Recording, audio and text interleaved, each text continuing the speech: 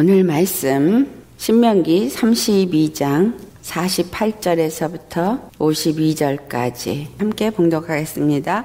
바로 그날에 여호와께서 모세에게 말씀하여 이르시되 너는 여리고 맞은편 모압 땅에 있는 아바림 산에 올라가 느보산에 이르러 내가 이스라엘 자손에게 기업으로 주는 가나안 땅을 바라보라. 내 형 아론이 호르산에서 죽어 그의 조상에게로 돌아간 것 같이 너도 올라가는 이 산에서 죽어 내 조상에게로 돌아가리니 이는 너희가 신광야 가데스의 무리바 물가에서 이스라엘 자손 중 내게 범죄하여 내 거룩함을 이스라엘 자손 중에서 나타내지 아니한 까닭이라 내가 비록 이스라엘 자손에게 주는 땅을 맞은편에서 바라보기는 하려니와 그리로 들어가지는 못하리라 하시니라 아멘. 이 신명기를 마무리하는 것이 모세가 죽게 되어지는 이야기다라는 거죠. 신명기는 모세가 가나안 땅에 들어가기 전에 기록된 것이기 때문에 모세의 죽음은 신명기의 마침이 됩니다.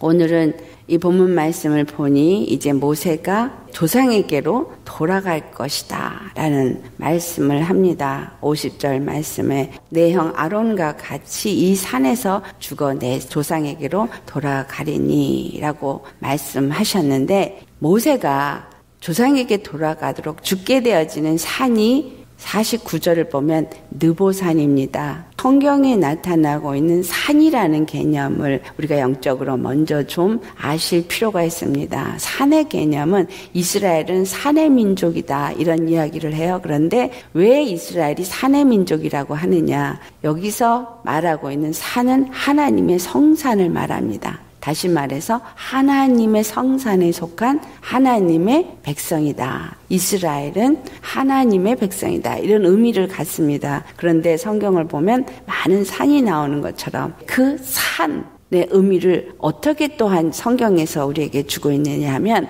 이스라엘 사람들이 산에 가서 제사를 지냈어요. 분양을 하고 제사를 지냈고 산당을 지었어요. 다 그 산에 신을 섬기는 장소를 만들었다라는 거예요.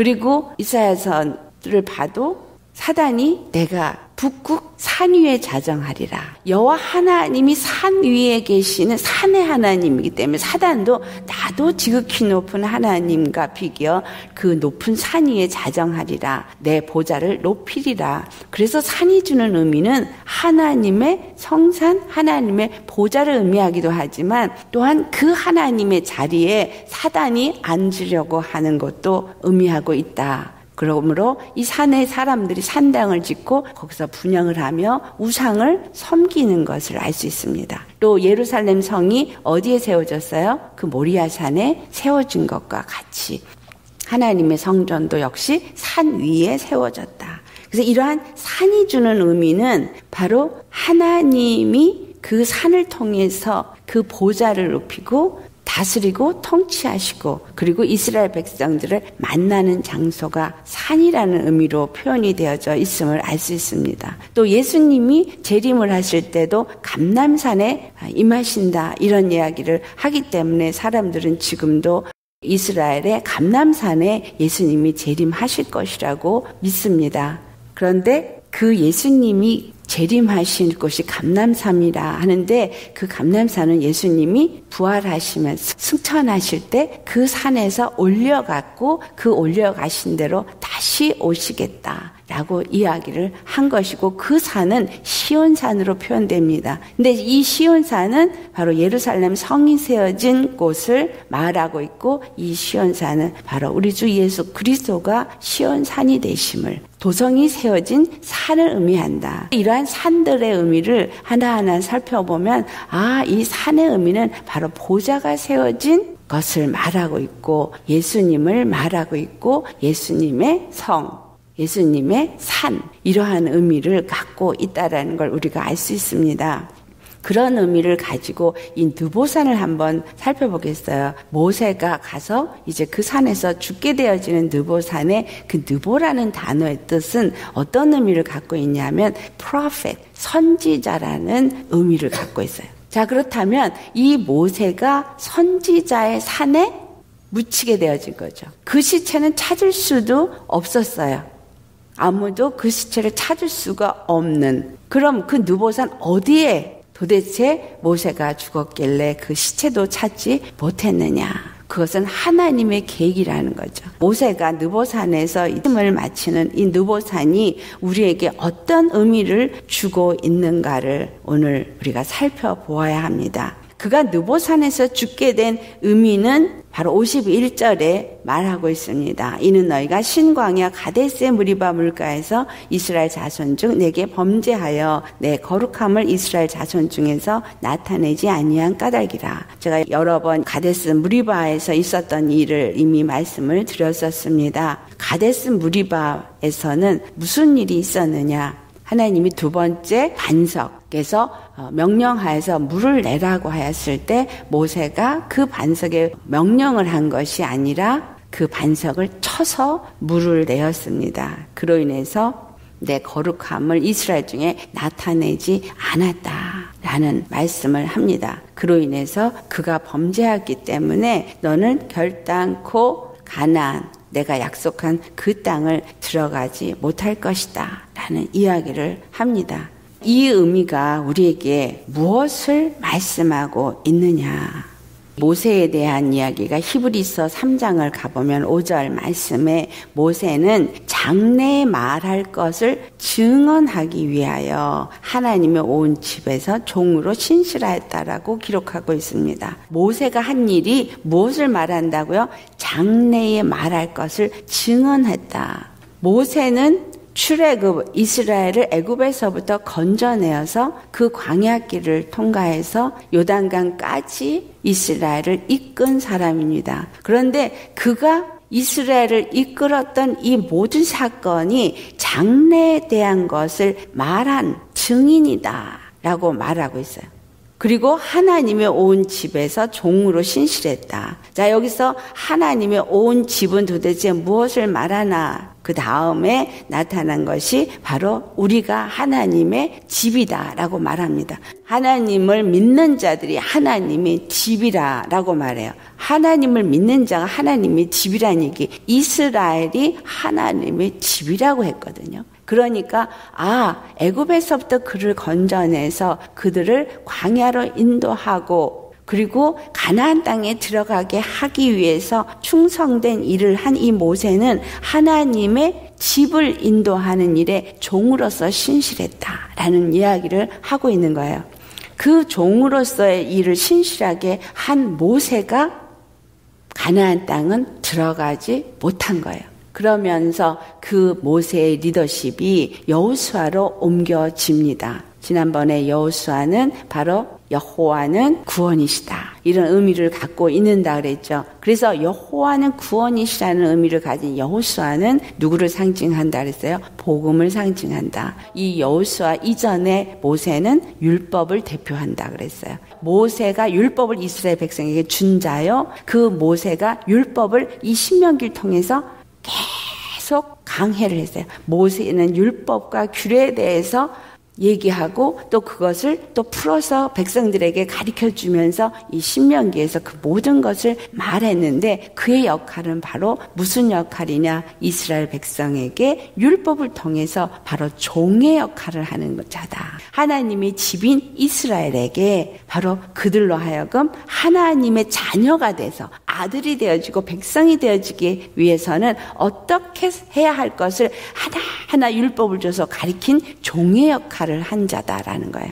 그러면서 이 모든 것들이 장래에 있을 일을 증언한 것이라는 거죠. 장래에 있을 일, 무슨 일? 바로 너희가 가나안 땅에 들어가면 어떻게 살아야 할지를 하나하나 증언하고 말씀한 것이 바로 이 신명기입니다. 그래서 이 모세는 어떤 의미를 갖고 있느냐? 모세는 바로 선지자의 역할을 하고 있다라는 그가 율법을 대표하고 율법을 이스라엘에게 주었지만 결국은 그 선지자의 역할을 하는 거였다라는 거예요. 왜냐하면 이 선지자의 역할은 예수 그리스도를 증거하는 역할을 했기 때문입니다. 선지자가 어떤 역할을 했느냐? 누가복음 16장 16절을 찾아보시겠어요? 누가복음 16장 16절 말씀. 찾으셨으면 우리 함께 봉독합니다. 율법과 선지자는 요한의 때까지요. 그 후부터는 하나님 나라의 복음이 전파되어 사람마다 그리로 침입하느니라. 아멘.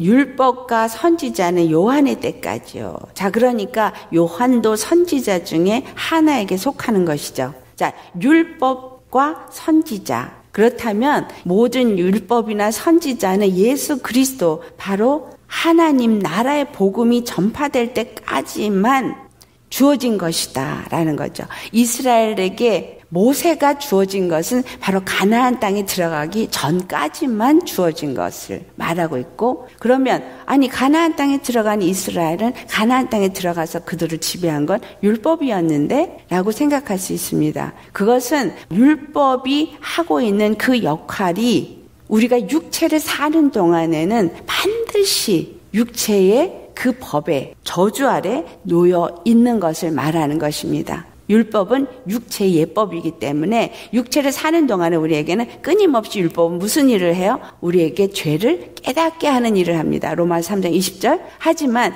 그 율법은 절대로 어디에게 들어갈 수 없다라고 하냐 가나안 땅에 들어갈 수 없게 한 이 모세의 역할은 또 어떤 의미를 주느냐 우리가 예수 그리스도를 영접하고 그리스도 안에서 하나님의 나라의 복음을 받은 하나님의 백성, 하나님의 나라가 되어졌어요. 제사장 나라가 되어졌습니다. 그러면 우리는 가나안 땅에 속한 자인 거예요. 가나안 땅을 기업으로 가진 자예요. 가나안 땅을 기업으로 가졌다는 의미가 내가 바로 하나님의 기업이 되어지고 하나님의 나라가 되었다는 의미입니다. 하나님의 나라가 되고 하나님의 기업이 되어질 수 있었던 것은 예수 그리스도의 십자가의 복음이지 율법은 아니라는 거예요. 율법으로 우리가 의롭게 된 것이 아니라 복음으로 의롭게 되어진 것이고 예수 그리스도의 십자가의 피로 의롭게 되어진 것이다. 율법은 어디까지만 우리를 인도할 수 있냐 하면 죄를 깨닫고 회개할 수 있게끔 하는 역할까지만이라는 거예요. 죄를 깨닫고 회개하고 십자가를 만남으로 인해서 십자가에서 회개하고 그 피로 말미암아서 거듭나고 의로워지고 예수님과 연합이 되어진 상태가 되어진 믿음의 사람이 될 때 복음으로 하나님의 자녀가 되어지고 하나님의 기업이 되어지고 하나님의 나라가 되어진다라는 거예요. 이것을 신약이 말해주고 있습니다. 예수를 만난 우리가 하나님의 나라라고도 표현하고 또 다른 것에서는 천국의 안친자라고도 표현하고 있고 예수님 안에서 그의 몸이라고도 표현하고 있고 가나안 땅에 들어간 이스라엘을 말하고 있는 것이다라는 거죠. 그렇지만 이 이스라엘이 완성된 완전한 하늘 나라는 아닌 거예요. 왜냐하면 진짜 이스라엘은 무엇을 의미하기 때문에 천국을 의미하기 때문에 진짜 하나님의 나라는 예수 그리스도로 말미암아 완성된 제사장 나라를 의미하기 때문입니다. 이스라엘이라는 나라가 가나안 땅에 세워졌지만 그 이스라엘이 완전한 하나님의 나라가 될 수 없었던 이유 중에 하나인 것이죠. 모세가 이스라엘을 세워지기 전까지 가나안에 들어가기 전까지만 그 역할을 한 것이 바로 율법과 선지자의 역할이다라는 거죠. 마태복음 13장 17절 말씀 찾아보시겠어요? 찾으셨으면 우리 같이 봉독합니다. 내가 진실로 너에게 이르노니 많은 선지자와 의인이 너희가 보는 것들을 보고자 해도 보지 못하였고 너희가 듣는 것들을 듣고자 해도 듣지 못하였느니라. 아멘. 선지자와 의인이 너희들이 보는 것을 보고자 해도 보지 못하고 너희들이 듣는 것을 듣고자 해도 듣지 못했다 한 이것이 무엇을 말합니까? 바로 예수 그리스도. 예수 그리스도를 보고자 해도 보지 못했어요. 메시아를 보고자 해도 보지 못했다는 이야기입니다. 또한 이 메시아 예수 그리스도를 통해서 이루어질 일을 듣고자 해도 듣지 못했다라는 거죠. 그들은 하나님의 음성을 직접 듣었던 선지자였고 그리고 의로운 자로서 하나님의 일을 이루는 일에 쓰임 받았던 자들일지라도 그들은 예수 그리스도를 만나지 못했습니다. 모세가 그와 같이 하나님의 음성을 듣고 이스라엘을 인도하는 장차 될 일을 증언하는 자로서 종으로서 충실했지만 그러나 오늘 본문 52절 말씀 비록 내가 이스라엘 자손에게 주는 땅을 맞은편에서 바라보기는 하려니와 그리로 들어가지는 못하리라. 선지자들이 그것을 듣고 말했어요. 예언했어요. 하지만 그들은 결단코 예수 그리스도를 만나지 못했다라는 것입니다. 로마서 1장 2절을 보면 이 복음은 하나님이 선지자들을 통하여 그의 아들에 관하여 성경이 미리 약속하신 것이라고 말합니다. 바로 예수 그리스도는 하나님의 선지자들을 통해서 그의 아들 예수님에 대해서 말해 온 것이라는 거예요. 미리 약속하셨던 것들이라는 거죠. 결국은 모세가 이 가나안 땅을 하나님으로부터 약속의 말씀을 받고 이스라엘에게 가나안 땅을 약속을 계속 해왔어요. 그리고 너희가 이 땅을 들어갈 것이다. 너희가 이 땅에 들어가면 이렇게 살아야 된다. 너희가 이 땅에 들어가면 어떻게 된다. 이거를 계속해서 말했어요. 하나님으로부터 말씀을 받고 그는 대언을 했고 말해왔지만 그는 그 약속을 말했지만 실제로 그 약속을 멀리서 바라봤다라는 사실이죠. 선지자나 이 모두가 다 멀리서 바라봤다. 그렇기 때문에 그들은 그것을 들어가 보지는 못한 모세와 같은 입장이다라는 거죠. 세례 요한이 선지자 중에서 그가 큰 자가 되어진 이유는 뭐냐면 선지자였지만 그는 선지자 중에 다른 선지자였던 이유가 뭐예요? 예수 그리스도를 보았기 때문에 하나님의 약속의 말씀이 성취되는 것을 보았기 때문이에요. 완전히 십자가에 죽으시는 것을 보지는 않았지만 그 약속했던 메시아 오실 것이다 오실 것이다 오실 것이다라고 많은 선지자들에게 약속했던 그 메시아를 그는 눈으로 보았고 그 메시아가 요단강에서 침례를 받도록 하는 장본이었기 때문에 그는 큰 자가 된 것입니다. 하지만 그는 하늘에 있는 지극히 작은 자보다도 작은 자예요. 왜냐하면 그는 뭐에 속했기 때문에? 선지자에게 속했기 때문에. 율법과 선지자. 그것은 바로 요한의 때에 끝이 나고 그리고 예수 그리스도로 말미암아 복음으로 모든 것들이 시작되어지는 그 시점의 마지막이었기 때문에 복음을 가진 어떤 소자보다도 예수 그리스도를 직접 보고 침례까지 준 세례 요한은 그보다도 작은 자다라는 이야기를 하는 것입니다. 그만큼 이 예수 그리스도의 복음이 얼마만큼 우리에게 중요한 것인가를 말하고 있어요. 모세가 그와 같이 많은 일을 하였고 충성된 자였고 정말 하나님을 직접 대면해서 많은 일들을 그가 듣고 전하는 자였다 할지라도 그는 가나안 땅에 들어가지 못했다라는 율법을 우리가 아무리 잘 지켜도 들어가지 못해요. 중요한 것이 이것입니다. 여기서 우리가 마지막 선지자였던 세례 요한을 함께 살펴보겠어요. 세례 요한이 어떤 일을 했어요?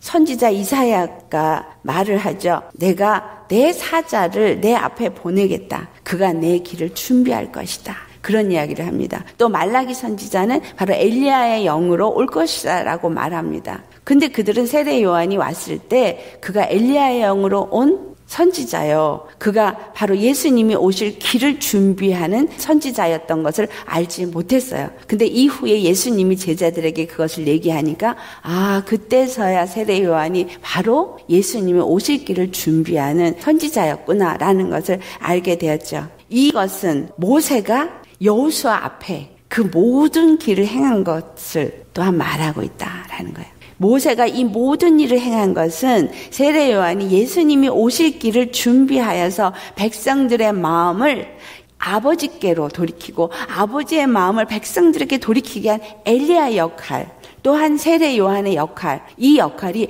모세 역할도 같은 역할을 한다라는 거예요. 자, 그렇다면 모세 역할이 어떤 거였길래 엘리야 역할이나 세례 요한의 역할과 이게 같은 것이라고 우리가 말을 할 수 있느냐? 다시 말하면 애굽 땅에서 종살이를 했던 이스라엘 그들은 고통 가운데서 하나님의 이름을 불렀지만 하나님이 누구신지 몰랐어요. 도대체 누가 참 하나님인지 몰랐던 엘리야 시대 때 그 바알과 아세라를 섬기던 자들이나 또한 지금 세례 요한이 요단강에 나타나기 전까지 이스라엘에 살던 모든 사람들이 어느 것이 정말 하나님을 바로 섬기는 건지 몰라서 율법주의인 바리새인의 말, 서기관의 말, 이 사두개인의 말 어느 것을 지켜야 될지 몰라서 혼돈 가운데 있었을 때와 같다라는 거죠.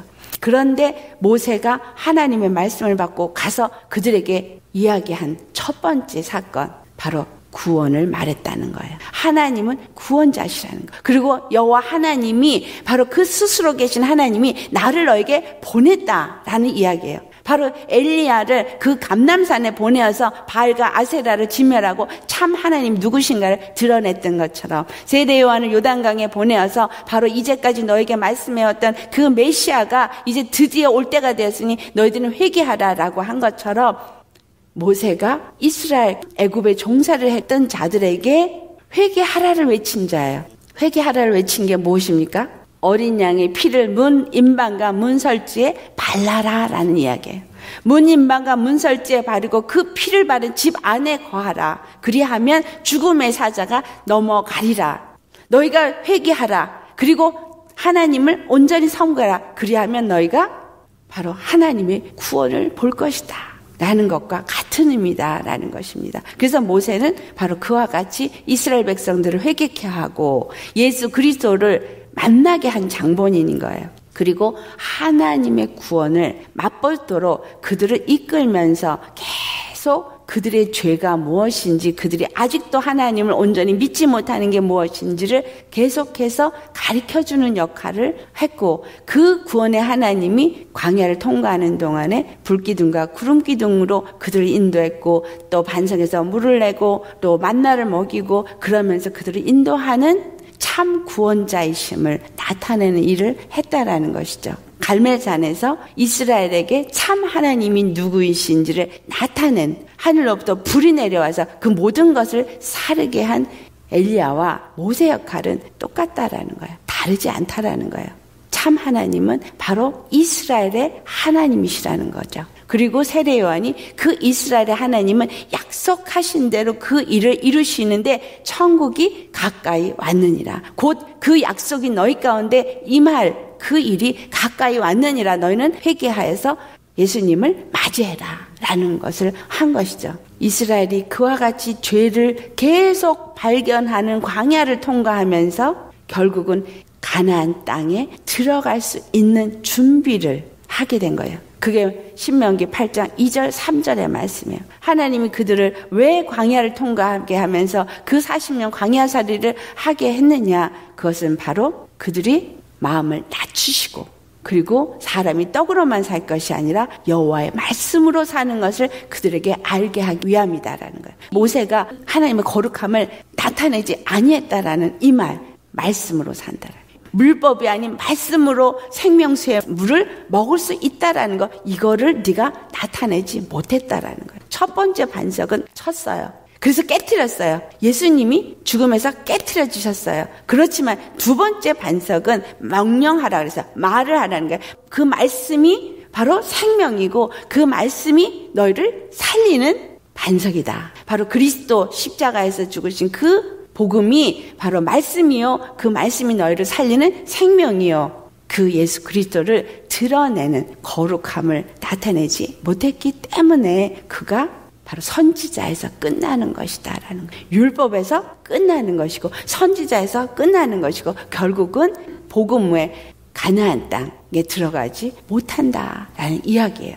이 많은 이야기들이 한 가지를 말하고 있다라는 거. 엘리야가 이스라엘 백성들에게 참 하나님을 나타낸 갈멜산의 사건도 선지자의 역할이었고 세례 요한이 요단강에서 침례를 베푼 것도 선지자의 역할이었고 결국은 이 모세 역할도 다 선지자의 역할이었기 때문에 율법과 선지자는 만날래야 만날 수가 없고 요한의 때에 이 모든 것은 끝났다라는 거예요. 하나님의 나라의 복음은 이제 누구로부터 시작이 되어졌어요. 예수 그리스도로부터 시작이 되어졌고 그것이 바로 여호수아를 통해서 이루어지는 것을 말씀합니다. 마태복음 2장 15절에 예수님이 애굽으로 아기 때 내려가는 이야기가 나옵니다. 애굽으로 내려간 이야기는 마태복음 2장 15절에 말씀하기를 아기 예수가 헤롯이 죽기까지 거기에 있었던 것을 기록해요. 이는 주께서 선지자를 통하여 말씀하신 바 애굽으로부터 내 아들을 불렀다 함을 이루려 하심이라. 출애굽을 한 이스라엘 백성 그들을 가나안 땅에 이끄시는 분이 바로 예수님이 하나님의 아들로서 애굽에 가셨다가 애굽에서 피난했다가 그 다음에 다시 이스라엘 땅에 돌아오는 것을 다 말하고 있다라는 거예요. 이 모든 것이 같은 이야기를 하고 있다. 아, 이스라엘은 하나님의 아들로 표현되어지는 거구나. 바로 이것은 하나님의 신실한 집으로 표현이 되어지는구나. 이 신실한 하나님의 집은 바로 모세에 의해서 잘 이끌려졌고, 그리고 이 모든 것이 이제는 예수 그리스도가 장성해서 30세가 되어지면서 이제 공생애를 시작하게 되어지는 그때부터 율법이 아닌 복음으로 우리가 구원을 받게 되어지는 것을 말하는 것이구나. 라는 이야기를 하고 있다라는 거예요. 그 어떤 거 하나도 그냥 되어진 것은 없다라는 이야기죠. 그리고 그 헤롯이 두 살 아래의 모든 어린아이들을 죽였던 것. 바로 복음이 복음이 되어지지 못하게 사단은 율법 아래에 놓여서 죽임을 당하게끔 되어지는 것을 또한 의미하기도 합니다. 하지만 주님은 이스라엘을 그 사단의 권세에서 어린 양 유월절에 그 피로 말미암아 건져낸 것과 같이 예수 그리스도의 십자가의 피로 다 건져 내신다라는 거예요. 이 모세에게 속하여서 내 죄를 깨닫고 깨닫고 깨달으면 누구를 만나게 되는 거예요? 바로 예수님을 만나게 되는 거죠. 그래서 율법은 몽학 선생이다. 모세는 이스라엘을 가나안 땅에 인도하는 그런 선지자 역할을 했다. 그 모든 역할이 이제 그가 끝났기 때문에 느보산 바로 선지자의 산에서 그가 마지막을 마치게 되어지게 됩니다. 그는 가나안을 보기는 했지만 그러나 들어가지는 못한 것처럼 율법과 선지자들은 그 모든 것을 알고 말하고 예언해 왔지만 그러나 그들은 예수 그리스도를 보지 못했다라는 것. 그러나 우리는 예수님을 본 자예요. 만난 자예요. 아멘. 어떻게 성령님이 우리 안에 오셔서 믿게 해주시고 성령님이 내 안에 내재하셔서 나와 함께 하시고 그리고 나와 함께 동행하시고 나와 함께 영적 전쟁도 치르시고 여호사에게 두려워하지 말라. 그렇죠? 담대하라. 떨지 말라. 왜? 내가 너와 함께 하기 때문에. 할렐루야. 내가 너와 함께 하기 때문에 그 모든 전쟁, 내가 너 앞서가기 때문에 이 전쟁은 당연히 승리하게 될 것이라는 이야기를 하는 것. 바로 우리가 예수님이 우리와 함께 하기 때문에 우리의 삶의 모든 것들은 당연히 승리하게 돼 있다는 것. 그 말씀을 사도 요한 요한일서 4장 4절에 우리 안에 계시니가 세상에 있는 지보다 크시다라. 세상에 있는 이보다 크시다는 얘기는 세상에 있는 모든 권세를 십자가에서 부활하시면서 다 진멸하셨기 때문에 그것보다 크신 이가 내 안에 계시기 때문에 하나님의 영이 내 안에 있기 때문에 선지자나 이전에 있었던 그 어떤 누구보다 내가 예수님을 만난 예수님을 믿는 자이기 때문에 그 어떤 누구보다 내가 지극히 작은 자일지라도 하늘에서는 큰 자이다. 큰 자이기 때문에 두려워할 것이 없다라는 거예요. 염려할 것이 없다라는 거예요. 모세와 여호사를 놓을 때 이스라엘 사람이 볼 때 모세가 대단한 사람이고 여호사는 아무것도 아닌 자 같은 그런 자예요. 하지만 이 여호사가 하나님이 함께 하심으로 그 이스라엘을 다 정복하게 하는 일에 앞장설 수 있는 군대 장관이 되었다라는 사실이에요. 율법은 우리 앞에 굉장히 크게 보여집니다. 정말 두려운 법이고 정말 무섭게 만드니까 복음은 너무나 작은 것 같아요. 하지만 율법보다 복음이 훨씬 더 능력 있는 법이에요. 십자가가 훨씬 더 아무것도 아닌 것 같은 초라한 것이지만 비참하게 죽은 것 같은 것이지만 십자가가 하나님의 능력이라고 고린도전서 1장 18절에 말하죠. 우리가 율법으로 구원을 받은 자입니까? 복음으로 구원을 받은 자입니까? 나는 복음으로 구원을 받은 자요. 율법이 내 안에서 들어와서 나를 의롭게 한 것이 아니라 복음이 내 안에 들어와서 성령이 나를 의롭게 하여 주셨고 더 이상 사망의 권세가 나한테 선도될 수 없고 들어올 수도 없는 거예요. 여기서 지금 분명히 요단강 직전까지밖에 못 갔어요. 그렇기 때문에 요단강을 들어간 이스라엘은 늘 그 말씀 앞에서 순종해야 할 경외하는 믿음을 각도로 가르쳐 주는 것이고 이제 이 모든 율법의 가르침은 내가 예수를 만나는 그 순간에 다 율법의 용문은 끝난 거예요. 사망의 권세는 더 이상 나를 좌지우지할 수 없게 되어진 것입니다. 이 모든 것이 지금 그것을 우리에게 말해주고 있다라는 거예요. 그래서 로마서 5장 14절 말씀 우리 찾아보시겠어요? 로마서 5장 14절 말씀. 사셨으면 함께 봉독합니다. 그러나 아담으로부터 모세까지 아담의 범죄와 같은 죄를 짓지 아니한 자들까지도 사망이 왕노릇하였나니 아담은 오실자의 모형이라. 아멘. 아담으로부터 모세까지라고 말한 이것은 바로 율법까지라는 거죠. 예수님이 십자가에 죽으심으로 이 모든 율법에서부터 우리가 자유함을 얻은 자가 되어졌다라는 거예요. 더 이상 사망이 우리로 하여금 왕노릇하지 못하게 되어졌다라는 이야기를 하고 있는 거예요.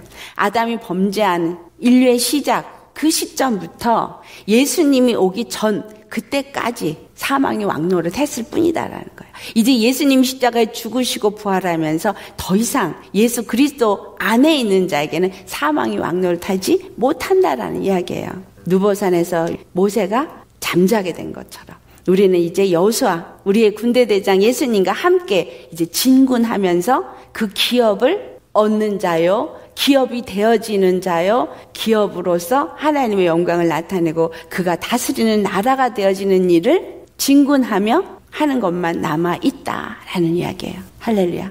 너무 감사하죠. 이제는 율법이 아무리 우리 앞에 와서 우리로 하여금 위협을 해도 은혜를 받은 자이니까 십자가 앞에 나가서 회개하면 끝. 그래서 더 이상 사망 권세에게 우리는 눌릴 필요도 없고 당할 필요도 없고 두려워할 필요도 없고 강하고 담대하게 정말 예수의 이름만을 붙잡고 나아가는 우리가 되어져야 합니다. 영적으로, 혼적으로, 육적으로 사망은 나를 지배할 수 없어요. 왜냐하면 내 안에 세상의 모든 것보다 더 크신 예수님이 계시기 때문에. 그 생명이 있기 때문에 바꿔 말하면 생명은 사망을 이길 수 있지만 사망은 생명을 이길 수 없어요. 그러니까 우리의 영과 혼과 몸이 이 사망 권세에게 지배를 안 받을 수 있으려면 생명 충만하면 된다 이 말이에요. 예수 충만하면 된다는 거예요. 말씀 충만하면 되는 거고 성령 충만하면 된다는 거예요. 이 말씀 느보산에서 모세가 끝나는 것이 우리에게 주시는 의미입니다. 우리는 정말 수지 맞은 자예요. 우리 모두 정말 이 생명으로 충만하시기를 예수님으로 축원합니다. 아멘.